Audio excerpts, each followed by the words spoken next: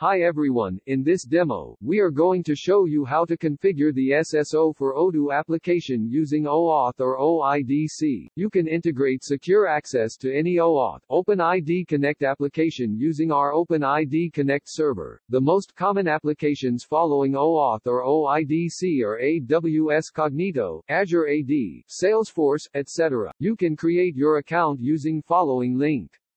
After creating your account in miniOrange, log in using username and password sent to your email on account registration. We will configure Odoo application in miniOrange.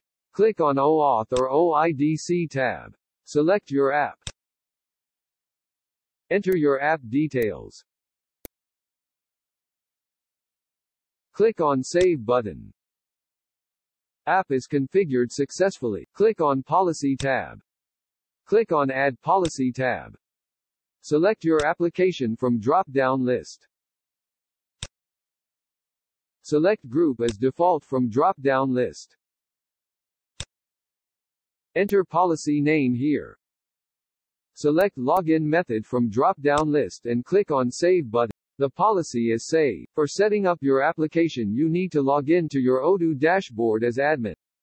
Click on Activate Developer Mode link.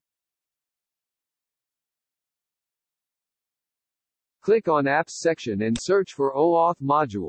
Install your module by clicking Install button. Go to Odoo settings and click on OAuth Provider tab. Click on Create button. Enter provider name. Click on Edit link.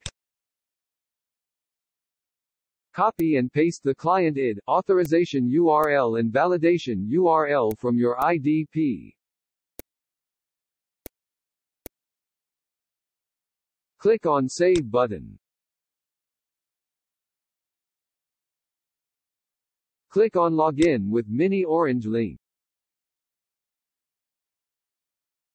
You are successfully logged in. Thank you for choosing MiniOrange. For more information reach miniorange.com or you can also contact us at info at xecurify.com.